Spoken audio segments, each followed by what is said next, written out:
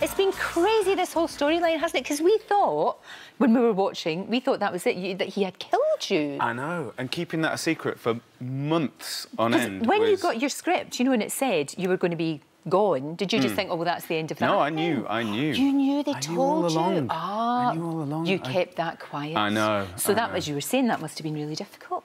Yeah, I, I basically, I, um, I knew, I knew I was, I was leaving the first, the first time round. Right. Uh, not that I'm leaving the second time, but right. but, uh, but I knew I was. Uh, it, it, was an exit storyline. Sure.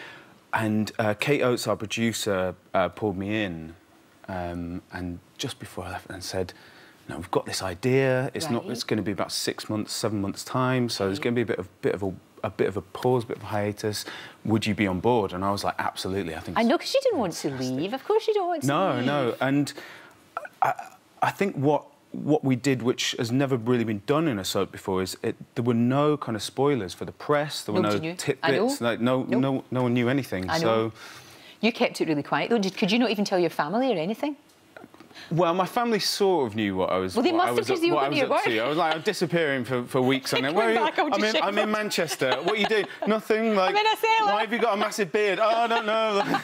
Ah, I know it must be so strange. Yeah. But like, not what? Because of, of, course, people, members of the public, would be coming up to you and saying, "Oh, what a shame," and oh, that terrible feeling, and you weren't able to say anything yeah, at all. Yeah, and, and people were saying, "Oh, you know, how are auditions going? What's happening?" I'm like, oh, "No, nothing's on the really... horizon." Yeah.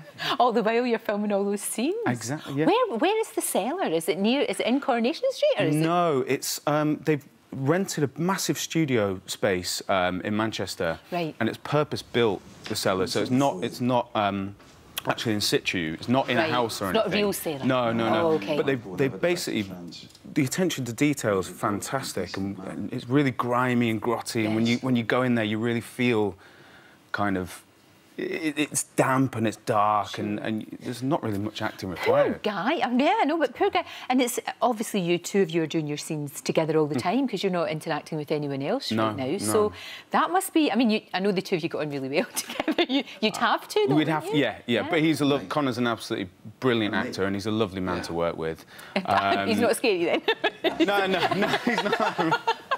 running away. Um, but we, we sort of just found this way of working where we'd, we'd really pick apart the script, and, and that's been part of the joy, actually, of doing this storyline. Yeah. Um, when you're handed a script like that as an actor, all you want to do with every fibre of your being is, is do it the utmost justice. Of course. And, and really, you know, more, more so than ever, just go to these extreme lengths mm. that we've we've kind of been to. Oh, I know. And the thing is, it is unravelling for him now.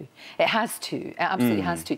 But what's so interesting, I don't know what happens, but I would be Neither do I. Neither do I. you do, so I don't believe anything you say anymore. But, but, no. when, but what would be interesting is how on earth that's changed him.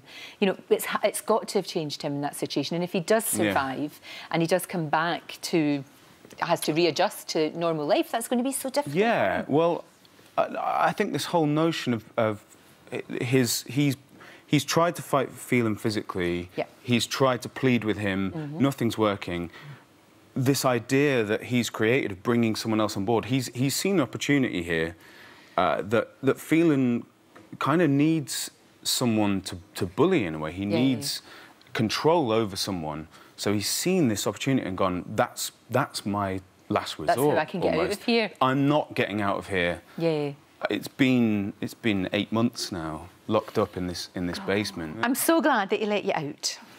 We'll get you For back. One day. I might have to go back. I mean, I'm so like... sorry. It's a nightmare. I'm sorry. Yeah. yeah. We'll get you some chocolate or something. I worry about him down there. I worry about him. So lovely to see you. Thank you. Great to Thank see you. you. Thank you, Thank my you. love.